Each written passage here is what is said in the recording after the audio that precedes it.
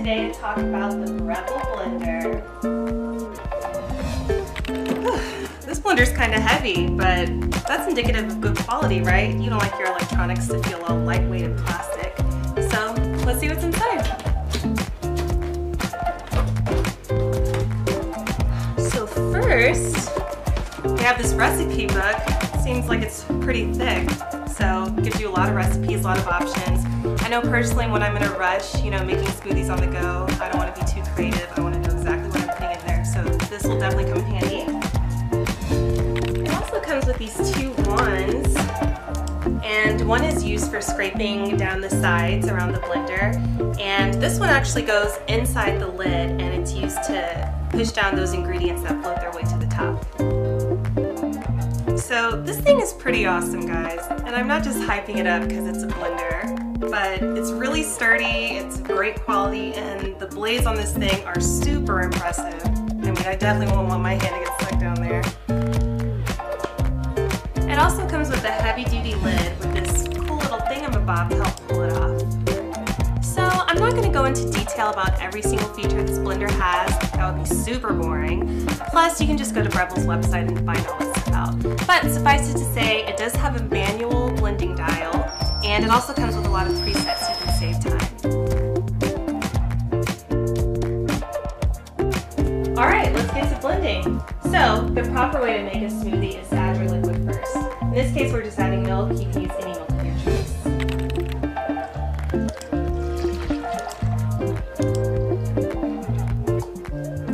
Next, you're going to add your base, which gives it that creamy texture. So you can use soft fruits like bananas, but in this case, we're going to use yogurt.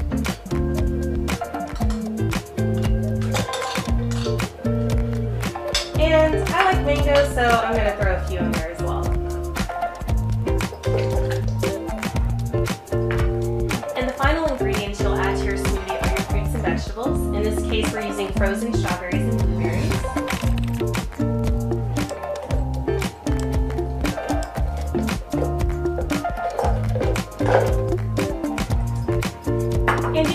Add a sweetener of your choice, and I'm using agave.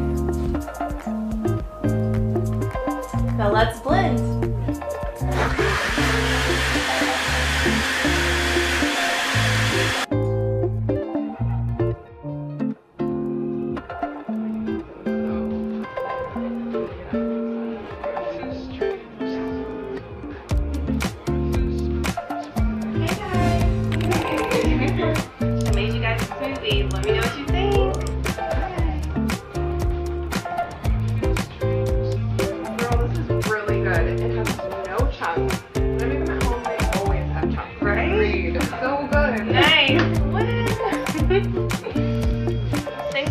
Another AGT exclusive, you guys. And next time you're out shopping, you may want to pick one of these babies up.